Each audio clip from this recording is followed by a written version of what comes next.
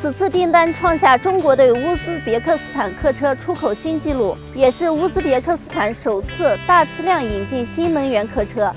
车辆将交付乌兹别克斯坦首都塔什干公交公司，用于改善当地公共交通状况，提升出行的便利性，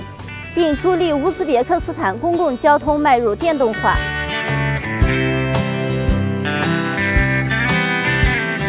针对此次新能源客车出境，我们设置专用窗口，提供二十四小时预约服务，优化口岸现场审核验放程序，简化通关流程，确保车辆出口高效顺畅。